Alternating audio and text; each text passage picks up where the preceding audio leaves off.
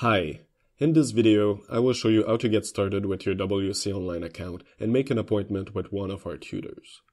To make an appointment, begin on our homepage and click on the Book an Appointment button to the right.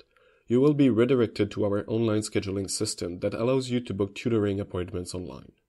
If it's your first time, click the register link and fill out all fields on the following page. Then click register when you have completed the form.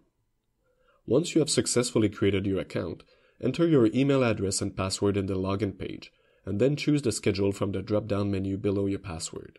Face to face appointments are for students on campus, while distance appointments are for students enrolled in distance programs. Once in the schedule, you can see the entire semester's availability one week at a time. Hovering over the yellow help link will display the color coded legend, which explains that the blue and gray boxes are booked and white boxes are open for appointments.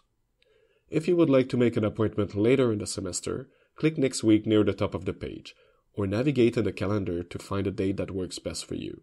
Note that you can only book an appointment three weeks in advance. Once you decided on a date and time, click on the white box and fill out all fields marked by a red asterisk and select Save Appointment. Finally, if you decide you no longer want your appointment or can't make it, you can cancel your appointment by clicking on it, scroll down, and select Cancel this appointment. If you have any trouble during this process or can't find an appointment when you want one because they are all booked, please call us at 250-853-3675 or email us at thecac at uvic.ca. We are looking forward to hearing from you.